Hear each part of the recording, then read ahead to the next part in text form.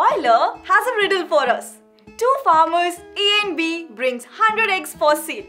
Out of which let's say A has XX and B is left with 100 minus XX. Now A sells an egg for A coins and B for B coins. At the end of the sale they both earn the same amount. So here we get our first equation.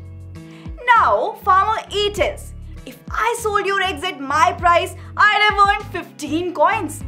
In response, B tells, if I sold your eggs at my price, I'd have earned 20 by 3 coins. Now here is the riddle.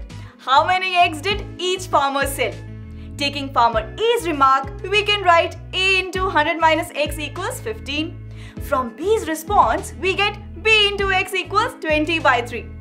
Now solving for x in the first equation, we get A by B equals 100 minus x by x. Now, if we divide the other two equations, we get 100 minus x by x equals 3 by 2 and solving that, we get x equals 40.